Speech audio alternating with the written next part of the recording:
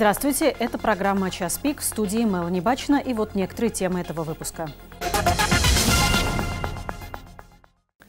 Весь день в Советском суде сегодня идет рассмотрение дела одного из участников одиночных пикетов в защиту узников Болотной. Эти пикеты проходили год назад. В них участвовали 8 человек. Первыми по этому делу годичной почти давности судили двух пенсионеров. Наталью Лебедеву оштрафовали на 30 тысяч рублей. Пенсионерке почти 70 лет, ее пенсия 12 тысяч рублей. Второй пенсионер Анатолий Вторушин, участник этих же одиночных пикетов, был доставлен в суд полицией, где ему стало плохо, и его пришлось госпитализировать по скорой. Третьего участника Участника тех пикетов Леонида Рыбакова неожиданно задержали в минувшую субботу вечером у дома. Они задержали меня в субботу в 6.15, то есть вот сегодня в 6.15 будет 48 часов. После этого я провел две ночи в РОВД, э, так называемом обезьяннике, то есть совершенно не оборудованном для содержания задержанных, вот, где нет спальных мест, постельного белья и так далее. Вот сегодня они явились, Зубков и Собин, по-моему, фамилия сотрудника второго, ну в протоколе он есть. Сегодня они явились, э, значит, забрали меня и доставили в Советский э, районный суд. Леонид Рыбаков почти двое суток провел в отделении полиции. В чем была необходимость задерживать его по административному делу в выходные дни, непонятно. Серия одиночных пикетов в защиту узников Болотной проходила в Томске летом и весной прошлого года. В ней приняли участие 8 человек. Тогда у полиции никаких претензий к участникам пикетов не возникало.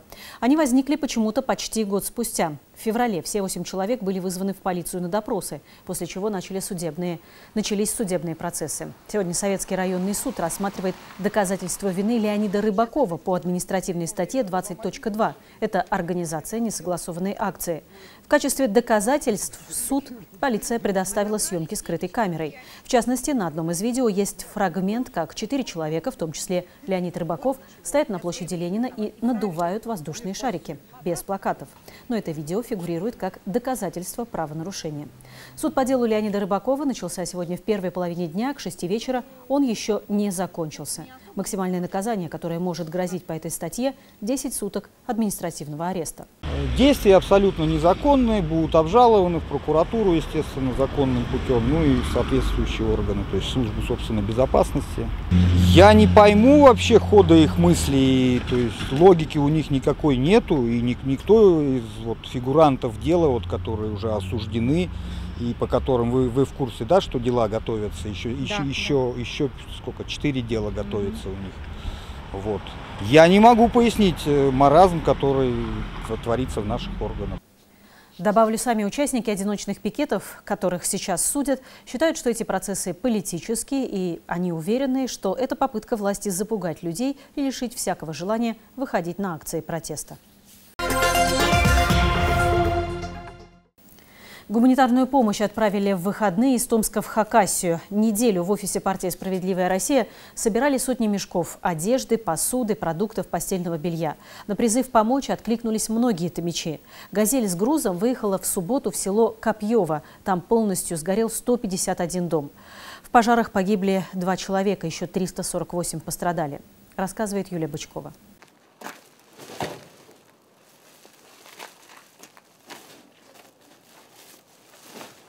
Тюки с одеждой, постельными принадлежностями, посудой и бытовой техникой. Первые партии отправляют самое необходимое. Всего за неделю в офисе «Справедливой России» собрали несколько сотен мешков. В субботу загрузили полную «Газель».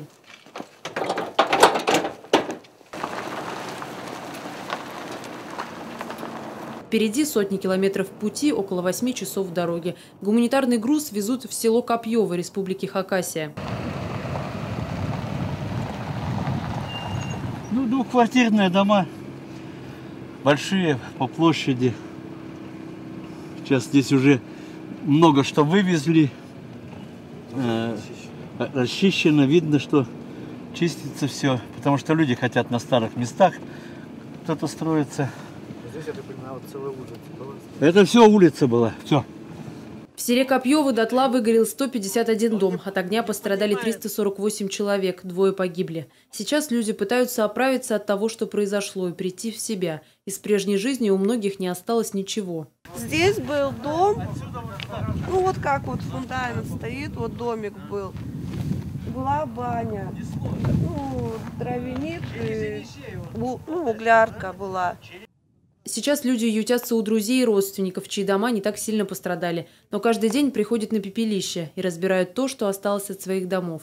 Кому-то даже удается найти в завалах остатки своих вещей и стройматериалы, которые потом можно будет использовать. Так по кусочкам они пытаются собрать свою жизнь заново. Вообще страшно. Вот, никому не пожелаешь такого вот, что вот спасибо, что люди сейчас вот помогают, кто чем вот может, любой помощи рады. Гуманитарную помощь в этот раз решили раздавать адресно. Местный активист Михаил составил специальный список необходимых вещей, которые требуются каждой семье. Одежду верхнюю дать женскую? Ну да. Все, я сейчас залезу. Мешок забираете, все, и там разберетесь. Не подойдет, отдадите своим кому-то. Людям очень нужна одежда, постельное белье, посуда и мелкая бытовая техника. У многих нет ни чайника, ни плиты, чтобы приготовить обед. Нитки, ножницы там что-то. Ой, огромное спасибо. Вот это нам нужно. И коробку. За помощь люди благодарят, только часто не могут сдержать слез. И еще долго не забудут то, что случилось ночью 12 апреля. Пальто одела. Даже в галошах осталось пальто. Мужу куртку схватила, барсетку его с документами и сумку свою с документами. И больше ничего, все сгорело сразу же. И соседи тоже, соседка тоже, в чем была на огороде, так все и сгорело. Отец в больнице после операции. Вот девчонки теперь разбираем пепелище наше. Через некоторое время всем пострадавшим, конечно, выплатят компенсацию. Только денег этих вряд ли хватит. Те домовладения, которые пострадали полностью, и у людей есть э, на эти домовладения соответствующие документы, которые согласно закона, то есть они получат выплату 10 тысяч рублей, 50 тысяч рублей или 100 тысяч рублей. Это в зависимости от э, того, э, то есть или полностью они сгорели, имущество сгорело, или частично. Если частично, то 50 тысяч рублей, если полностью 100 тысяч рублей. И затем будет решаться вопрос о выдаче сертификата для строительства нового жилья или о приобретении жилья на вторичном рынке. Оля, да, открывай, Катюшка, иди там все. За несколько часов «Газель» с гуманитаркой объехала весь поселок. Вещи раздали быстро. Вечером обратный путь в Томск за новым грузом. Люди в Копьево тоже расходятся по друзьям и родственникам. Завтра им снова идти на пепелище. Ладно, пойдем мы уже в баню мыться. Куда-нибудь.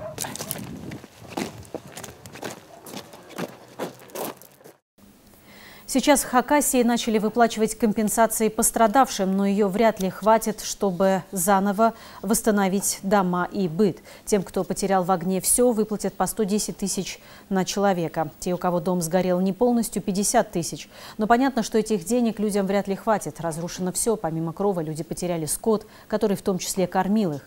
Сейчас в Хакасии оплакивают погибших. Соседи стараются помогать друг другу. У них теперь одна беда и одна история на всех. Наш оператор Александр Сокалов, который ездил в Хакасию вместе с добровольцами из Томска, которые везли туда гуманитарный груз, поговорил с местными жителями. Вот их истории. Это все улица была, все. Ну, двухквартирные дома, большие по площади. Наша улица у Южного сгорела за полчаса. Такой огонь был, такая стихия. Вот тут у соседей стайка была. Начала, шифер взрываться начал. И вот так, знаете, как вот в цунами волна вот так идет. Вот так огонь шел на нас. Ни с того ни с сего почернело домом. Потемнело, почернело, забежали соседи. Наш дом горит, ребенок в панике, я боюсь. Дядя Толя, я боюсь, он от меня никуда. Летели головешки, э, пыль, вот этот, и дым. Очень сильный дым, а уже вот с горы, с горы, от соседей. И вот эти, чтобы спасти документы и вот этих соседей, я по огороду довел их до конца огорода. Я говорю, идите спасайтесь. Вода не было в этом водопроводе. С бани ведром и очаги уже начал, пробовал тушить. Все, дровяник уже горел. Соседи все уже на моей улице, все горели. Отстояли вот этот край. Э, Но сложилась обстановка такая, что ни водовозок, ни пожарных автомобилей на наш край уже не хватало. Не хватало. Не хватало, их просто их не было. И, а можно было что-то, ну, дом, допустим, вот этот спасти. Где-то около 12 минут 10 первого загорелся наш газовый участок, и ну, сил и средств уже практически не хватало. Водовозные машины, АС-машины, заправщики, молоковозы, они, естественно, начали заправляться с гидрантом. Естественно, большой объем воды пошел на заправку, и в южной стороне, это на улицах Евдокименко, южная, степная, у людей воды просто не хватало. Ветер был очень сильный, и упала опора на водозаборе, э, отключился свет. Естественно, насос остановились. Огромное спасибо нашему населению поселка Копьева. С их участием мы не допустили, что дома еще в большем количестве сгорело. Очень было страшно. Это даже вот не опишешь, как вот словами, какой-то ад вот кромешный. Дома загорались, ну как спичечные коробки. Вот. Мы увезли детей, в первую очередь собрать, ну там какие документы успели взять.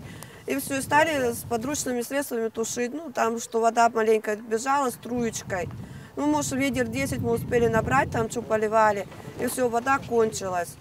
Ни пожарки, ни водовозки, ни, никого не было. И нам соседи кричат, говорят, бросайте, вы говорит, ничего уже не сделаете, говорит, не спасете. С собой что успели вещи маленько взять, вот с тем остались. Ни, ни верхнего, ни постельного вообще ничего не... Ну, все сгорело.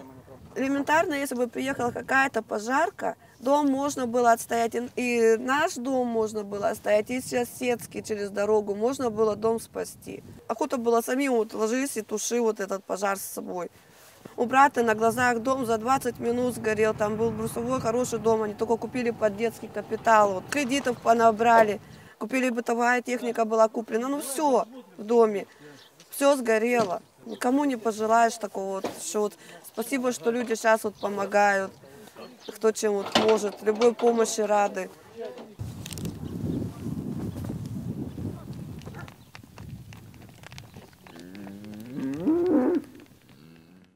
И сейчас Александр Сокалов у нас э, в студии. Саша, ну вот какие эмоции возникают у человека, который въезжает сейчас на территорию Хакасии?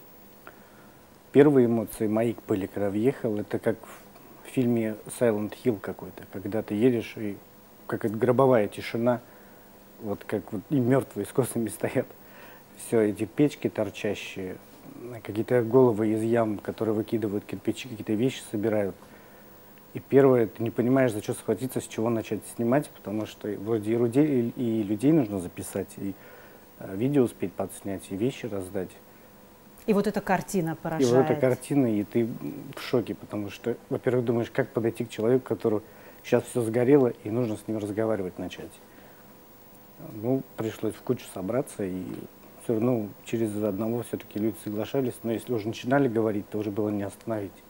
То есть у людей вот эмоции. это наболело а сейчас, и когда они оправились от первого шока, да, что называется, а, когда трагедия уже осталась позади, вот сейчас у Вот людей сейчас эти эмоции, эмоции самые сильные. вываливать Что говорят люди в первую очередь, вот помимо историй, которые они рассказывают, свои истории? Может быть, какая история тебе там самая страшная показалась?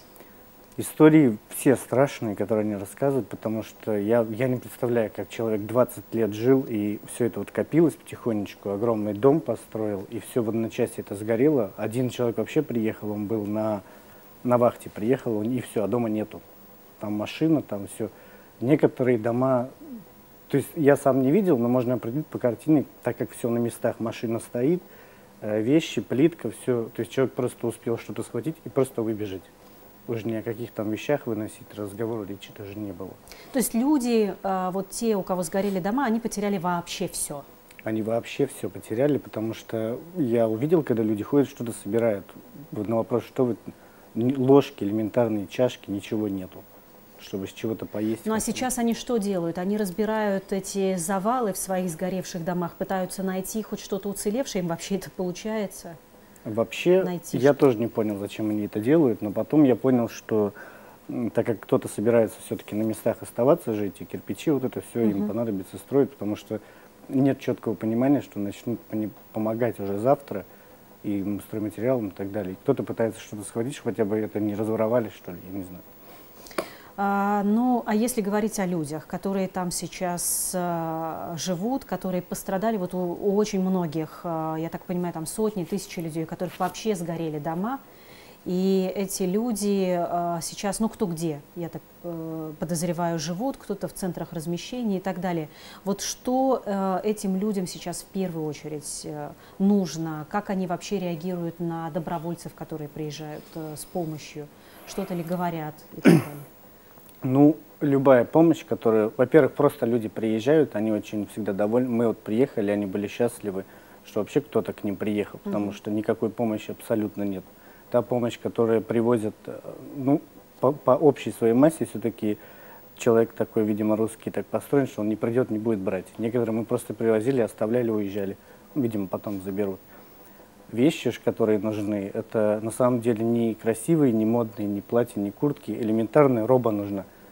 Один мужик подошел, говорит, у меня отвертки нету, молотка, чтобы начать что-то делать. Есть, Инструмента нету, числе. да, абсолютно. Ну, а, и я так понимаю, какая-то бытовая, бытовая техника, посуда тоже особо сейчас пока, по крайней мере, не нужна, потому что все равно э, людям негде э, э, жить, я так понимаю, и эти вещи не нужны. То есть, в первую очередь, какие-то предметы личной гигиены и одежда. Абсолютно. В детям, я так понимаю, что сгорело то, что, по крайней мере, в школу детей надо собирать, это денег. То, что им там выделят, этого не хватит абсолютно. Мгм. Какие-то для школы вещи, э, так, ну и вот перчатки, грубо, в которых работать, мыло там, какие-то шампуни, потому что гря... полчаса по улице прошелся, весь грязный как черт.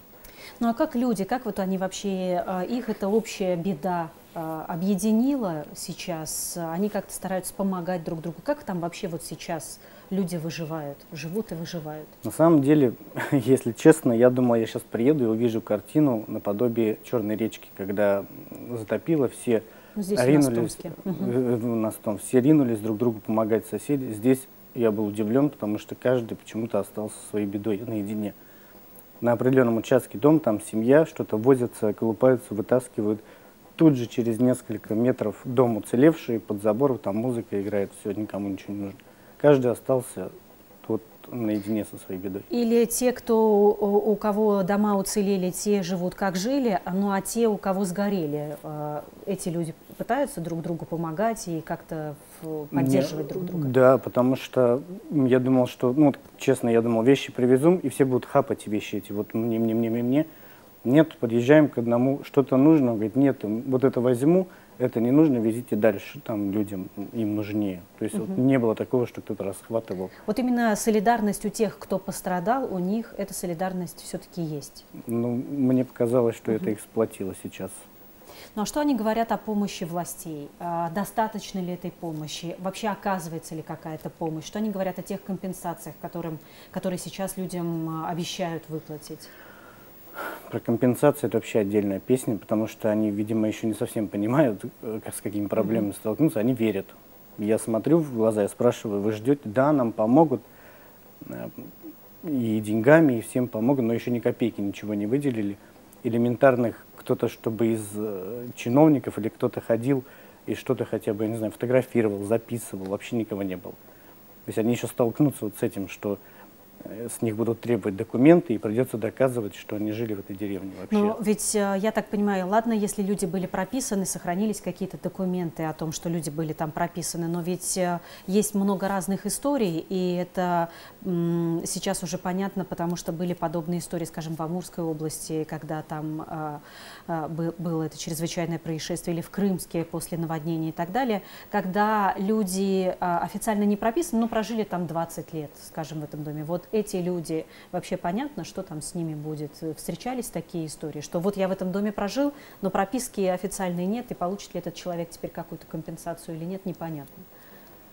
Про документы я точно не могу сказать, но я спрашивал, вы вообще дальше планируете здесь Мгм. оставаться? Некоторые планируют все-таки там оставаться, потому что исторически уже все же жили, и скот, и все такое, если есть, его где-то надо пасти. То, что им там предлагают, я так понял, какие-то дома будут, но навряд ли кто-то согласится туда уехать. Ну а, кстати, люди что говорят? Они будут там же отстраивать, вот на месте этого пепелища, вот как бы это ни Ну, некоторые, некоторые, да, почему-то хотят остаться, некоторые боятся, очень сильно испуганы, и нет ни в коем случае, не дай бог еще раз говорит, повториться, мы лучше здесь куда-то будут уезжать. Ну, то есть будут стараться оттуда уезжать. Ясно. Спасибо, Саша. Наш оператор Александр Сокалов э, вернулся в выходные из Хакасии, куда ездил вместе с добровольцами, которые отвозили гуманитарную помощь э, пострадавшим от пожаров э, людям в Хакасии. Ну, я еще добавлю, что известно, по крайней мере, сегодня об этом сообщают власти Хакасии, что там будут восстанавливаться дома по желанию людей. Если люди пожелают, чтобы им отстроили новый дом на том месте, где он у них стоял до этого, то есть, грубо говоря, на пепелище, то дом будет построен там. Если нет, то власти готовы построить а, дом а, пострадавшим и людям, потерявшим а, в пожаре все а, где-то в другом месте, где они скажут. Пикет в защиту исторических памятников прошел в выходные в Томске. На Новособорную площадь 18 апреля в Международный день памятников и исторических мест вышли несколько десятков человек. Горожане хотели привлечь внимание властей к проблеме сохранения памятников архитектуры и исторического наследия города. Люди стояли с портретами деревянных домов, которых уже нет в Томске, с фотографиями тех домов, которые еще можно сохранить. Общественники составили петицию, цель которой добиться круглого стола с участием представителей областной и городской власти. На пикете под петицией оставили подписи больше 200 человек. Петицию и письмо с просьбой вмешаться в ситуацию и не допустить уничтожения исторического наследия города общественники направят завтра мэру Томска Ивану Кляйна и губернатору Сергею Жвачкину. На этом сегодня все. Спасибо за внимание и до встречи в программе «Час пик».